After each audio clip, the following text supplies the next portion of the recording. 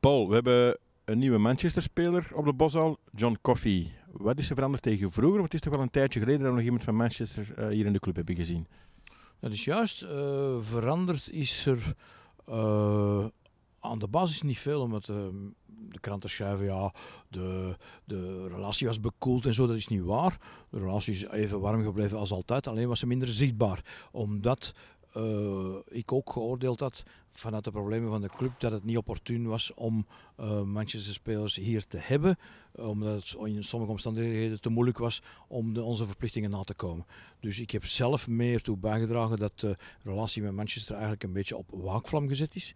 Um, maar nu de sportieve en organisatorische omstandigheden op Antwerpen dermate verbeterd zijn de laatste zes maanden, was het tijd terug rijp om, om dus de laten we zeggen, die waakvlam terug te laten opgloeien tot een echt vuur.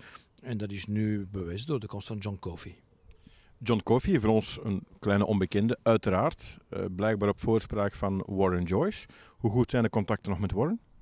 Wel, de contacten zijn formidabel en die zijn altijd zo gebleven. Warren uh, is nog altijd een van de hevigste Antwerp-fans in het buitenland.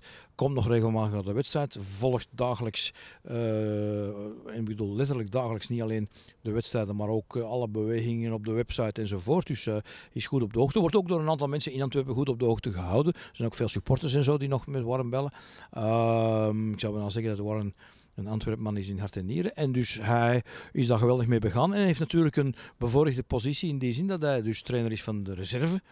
Uh, samen met uh, Paul Scholes. Um, en in dat opzicht zit hij natuurlijk aan de bron. En dus inderdaad, John Kofi is een suggestie van uh, Warren. Hij heeft gezegd, ja, dat, ik denk dat dat een spits is die u, van, die u een bijdrage kan leveren voor uw eerste elftal. Dus we, zullen, we hopen allemaal dat het zo is. Een vraag die brandt op alle lippen van alle supporters. Blijft het bij John Kofi of komen er nog anderen?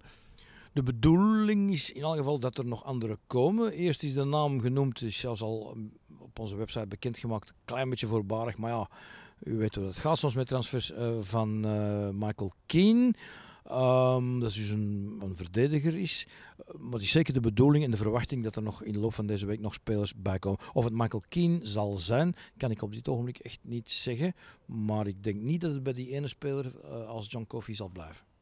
Ik neem aan als er wie er ook is, dat we het zullen vernemen.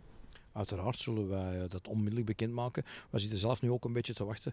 Ik had liever gehad dat bijvoorbeeld een speler als Kine hier reeds zou geweest zijn. Maar bon, uh, tussen droom en daad staan wetten in de weg en praktische bezwaren.